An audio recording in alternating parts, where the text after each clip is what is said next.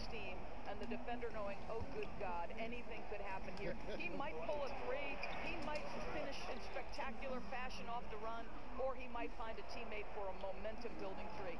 Like, get in transition and run, baby. Here's Doncic. Gets it to drop, and now he's shooting at a 5 for 8 clip. And that field goal percentage climbing now above 50%.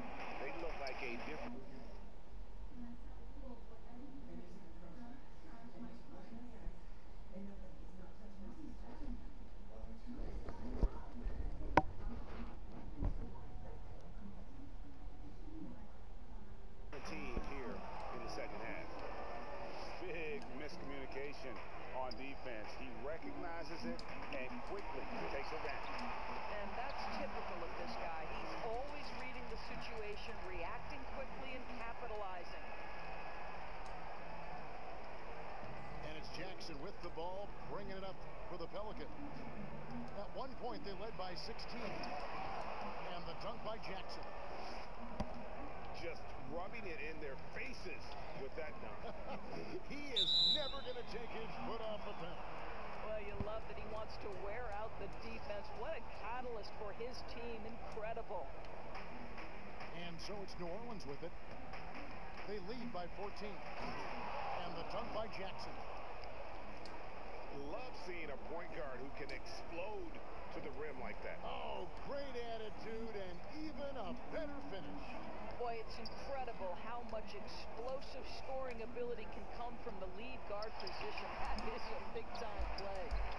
Outside for Curry.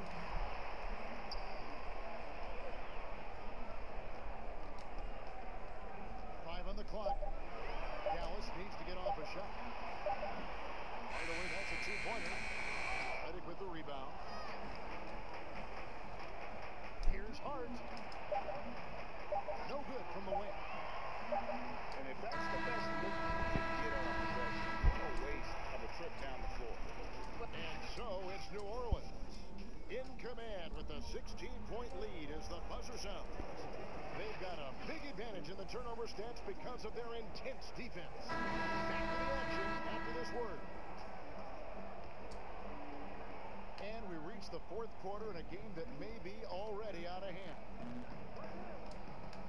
Down low. Redick. That falls. Nice feed that time from Ball. Well, known for being a terrific passer, he shows you right there. Case in point. Left side, Porzingis. Doncic outside.